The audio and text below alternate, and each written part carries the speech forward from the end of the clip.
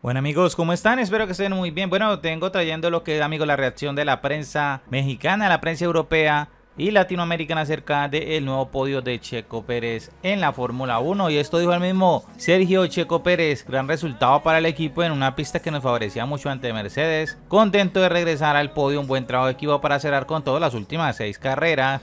Vemos a el mexicano subido en el podio. Esto ha dicho Invictos de México, podio de Checo. A huevo, el piloto mexicano finaliza tercero en el Gran Premio de Turquía.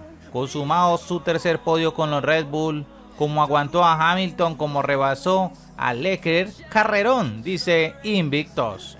Por supuesto, los diarios más, o bueno, los más importantes, hablando de el diario Record, que publicó así la victoria de Checo Pérez. Checo Pérez regresa al podio luego de varias semanas con problemas. Curiosamente, la última vez que lo logró lo hizo junto a su compañero de equipo Max Verstappen en el Gran Premio de Francia. Y por aquí vemos otro post del diario Record. Checo subió al podio, el mexicano sube al tercer podio de la temporada tomando confianza para el Gran Premio de México que será el 7 de noviembre.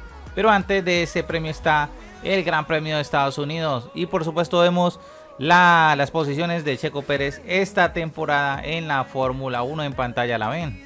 Y aunque parezca ilógico, el Club América de México, la página oficial de fútbol de Club América o las Águilas, le dedica este tweet a Checo Pérez. Felicidades a Checo por su tercer lugar en el Gran Premio de Turquía. Que continúe el vuelo. Y yo me despido amigos con la página de Soy Referee en México. Podio para Checo.